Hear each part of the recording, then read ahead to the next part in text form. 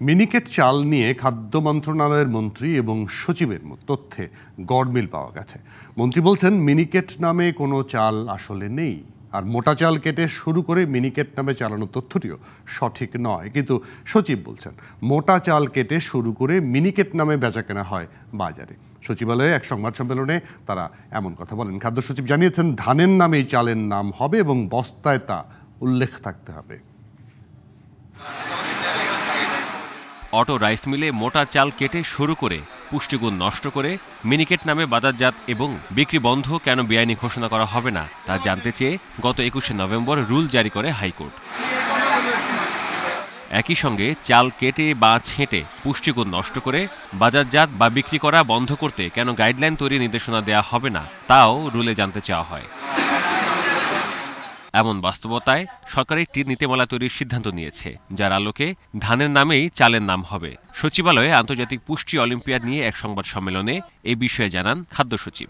Branding আপনি যাই নামে করেন না কেন, আপনাকে মূল ধারের সোর্স যে আপনি যদি গরুর মাংস বিক্রি করেন আপনাকে লিখতে হবে গরু? মহিষের মাংসে গরু লিখে বিক্রি করতে পারবেন না। মিনিকেট তাদের ব্র্যান্ড ব্যবহার করে করুন, কিন্তু তাদের ধানের জাতটা বলে দেবে কিন্তু এরপর মিনিকেট চাল নিয়ে সাংবাদিকদের প্রশ্নের উত্তরে খাদ্যমন্ত্রী দিলেন উল্টো তথ্য। রাশিংয়ে দেওয়ার থেকে বাইরে একটা বস্তা বন্দি পর্যন্ত আপনি দেখ- দেখবেন যে এরা কি চাউল কাটে না কি করে।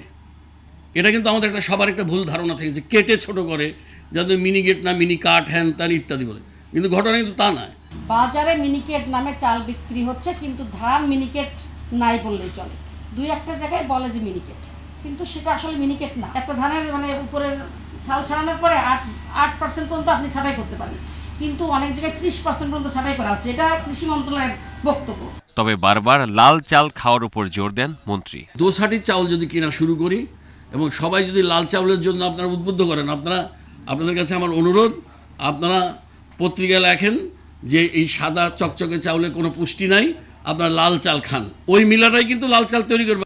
একই সঙ্গে প্রধান খাদ্যের সংসম্পন্ন হবার পরও দাম বাড়া নিয়ে অসহায়ত্ব প্রকাশ করেন মন্ত্রী। সিস্টেমও নাই মনিটরিংও নাই এবং আমাদের কোনো নীতিমালাও নাই। জুয়েল থিওটোনিয়াস ডিবিসি নিউজ ঢাকা।